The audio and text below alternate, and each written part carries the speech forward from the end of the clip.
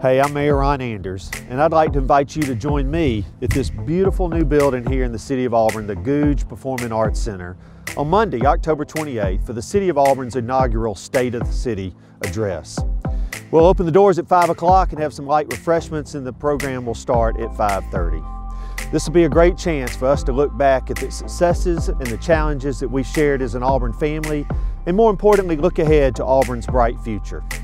Afterwards, we'll award some remarkable citizens with the inaugural Mayor's Lamplighter Awards. This is free and open to the public. Families are invited.